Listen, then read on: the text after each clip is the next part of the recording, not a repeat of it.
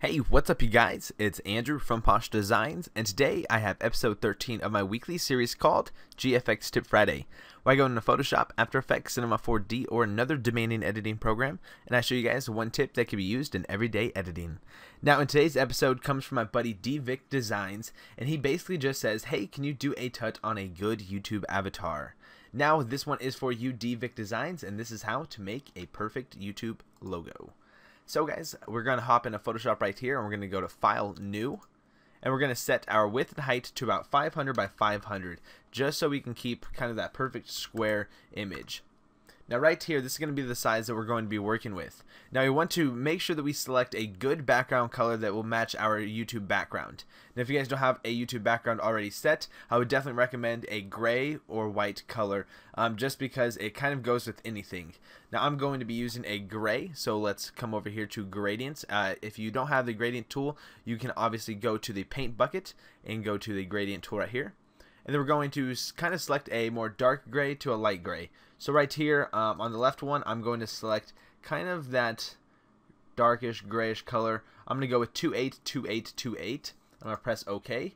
And then on the right side, we're going to pick kind of uh, just a little bit lighter of a gray. So I'm going to go with 4D, 4D, 4D. And we'll see how that looks. So we're going to press OK and then we're going to just select down here and press hold down shift that's going to make it uh, so it goes just in one straight line and we're going to let down. And there we have kind of a really nice gradient that'll go well with our um, avatar so to do this, what we want to do is we just want to make some text, or we can use um, kind of our personalized text that we have uh, imported from Cinema 4D or whatnot.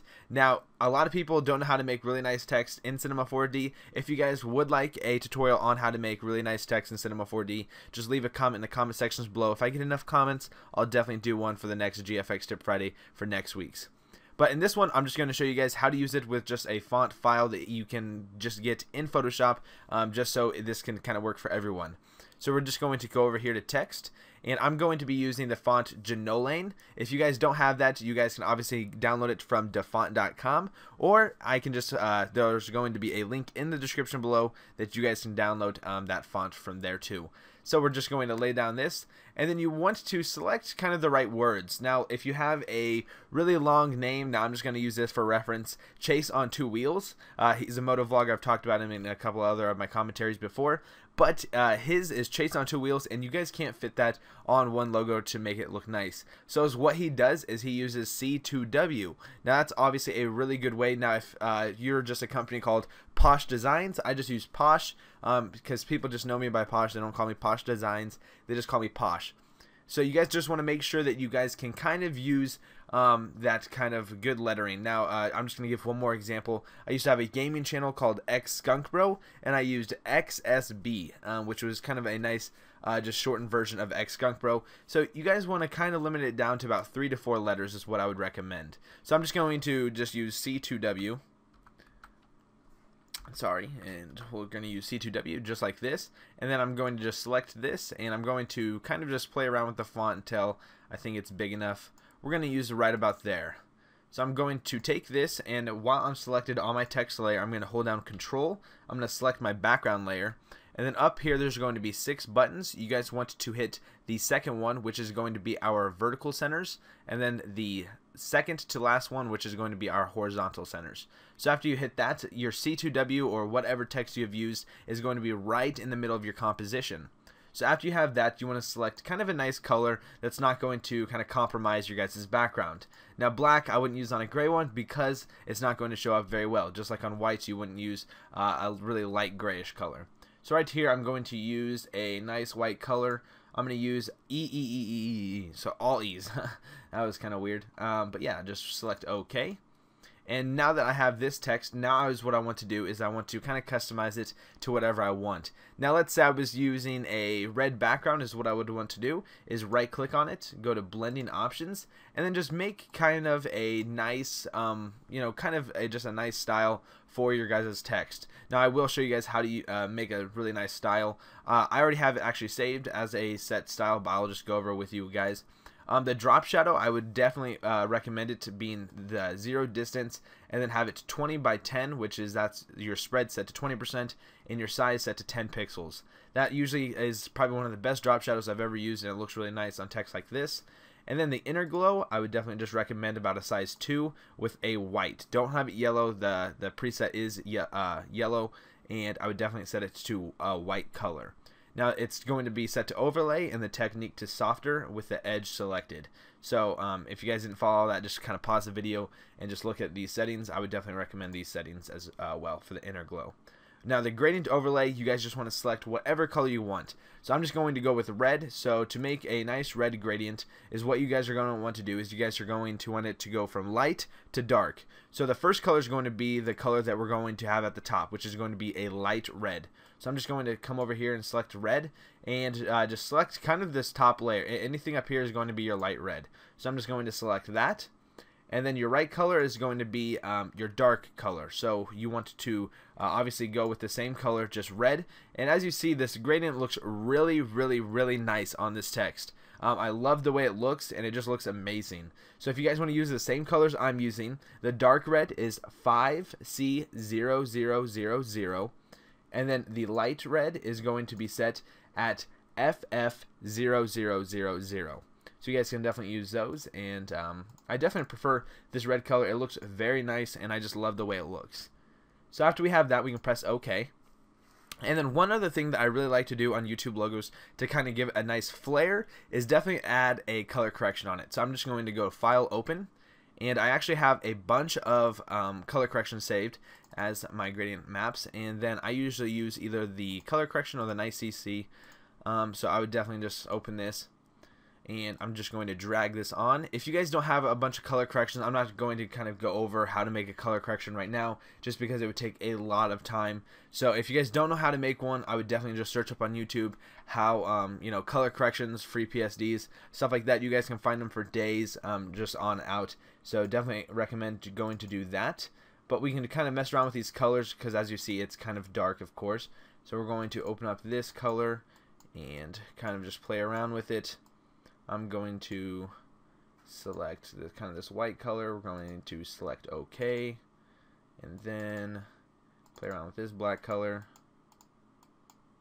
That's a little too. Alright. We'll play around with this blue color as well.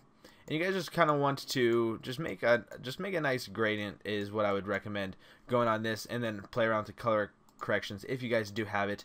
Um, I also have a much better one that I think I'm going to actually use. Um, if I go to File Open again, and I'm going to use this one. This one's a little bit more nicer for the logos themselves.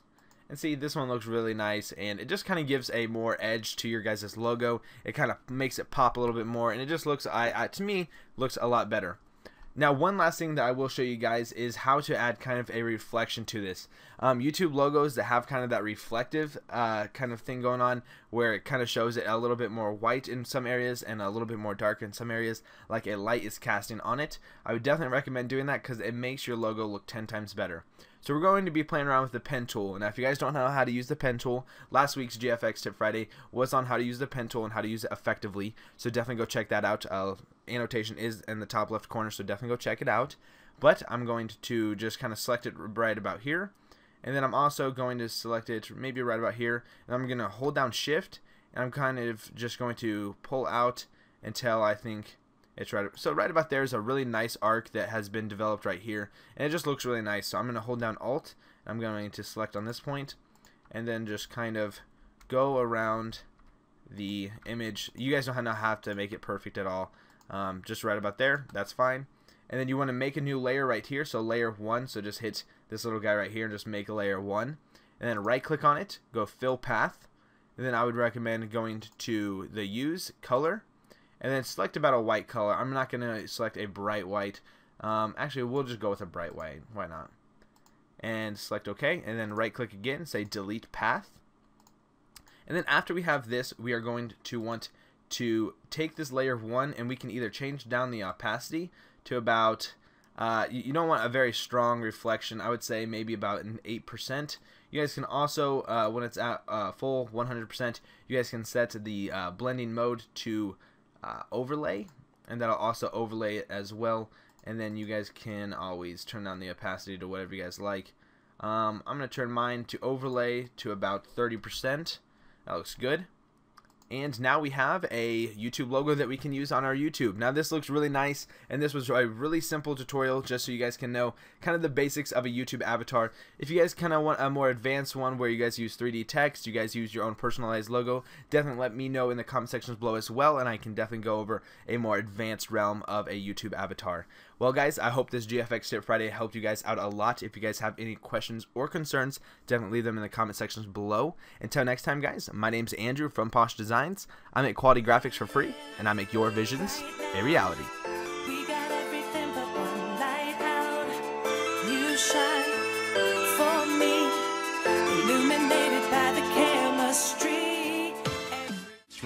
And my thoughts keep telling me to get me home, but my balls keep telling me to let me oh. Oh, just let me oh. That clock keeps ticking like a metronome, and my thoughts keep telling me to get me home, but my balls keep telling